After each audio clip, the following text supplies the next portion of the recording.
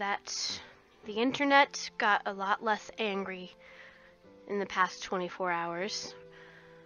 Fellow YouTuber, much more popular, obviously, than me,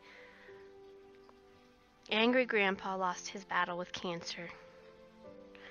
And first off, I want to send out my deepest, most heartfelt sympathies and condolences to Michael and his family and their friends.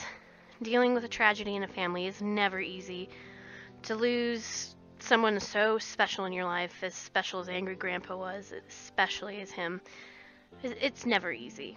And somebody who impacted the web the way that Angry Grandpa did, I know he will not be forgotten. I know I won't forget him. He was amazing, funny, angry, and watching them kind of reminded me of my childhood in a way. Dysfunctional, crazy, sometimes scary. but in the end, it was a family. And thanks to YouTube, thanks to their millions of fans, Michael was able to give his father, Angry Grandpa, the best final years of his life. He was able to get him out of that trailer park that he hated so much. He hated living in that trailer park. Michael was able to buy him his house, a home that Angry Grandpa could die happy in. He bought him his dream car, a car that Angry Grandpa once had as a kid, as a teenager, but lost. Yes, there were tears of anger, tears of sadness, but there was also tears of joy. Being able to see mm. Angry Grandpa smile and laugh.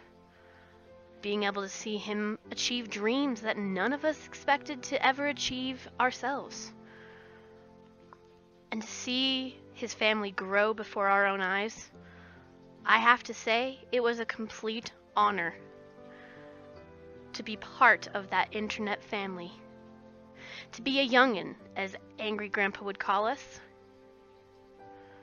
and to be part of their family, invited into their daily vlogs, into the crazy hectic life that was them. And tonight, and forever, I guess, we will all mourn the loss of such an amazing, epic, crazy, angry guy, such as Angry Grandpa. But as someone once told me, probably a movie if you actually ask me, you have to look at the collateral beauty in everything. He's no longer suffering. He's no longer in pain. We know cancer is a horrible disease. We know he's in heaven with his mom and his dad. We know he missed them. And we know he did get his final happiness that he always wanted to Michael, if you do watch this, doubtful, but if you do, I pray that you will continue with the channel. I will continue watching. We want to see what happens with Michael and Bridget. Bridget West Westia! We want to know what happens with you guys. Seriously. Keep recording. Get married already. I mean, for the love of goodness sakes. Get married. Have babies. You know he's waiting for that. And wherever he is, up there, down there, over there, over there, anywhere, he's waiting. He'll be there every step of the way. So today, this isn't no normal Minecraft video where I shout out my lovers, and I love every single one of you guys, and I'm sorry this isn't my normal video. But today I wanted to honor one of our own, a great YouTuber a great father, a great grandfather. He was a he was a father and an angry grandpa to all of us.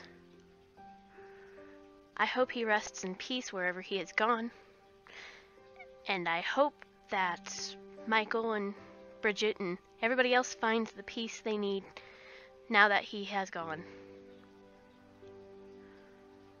That was kind of creepy. Leave it to the thunder. Rest in peace, Angry Grandpa. Rest in peace.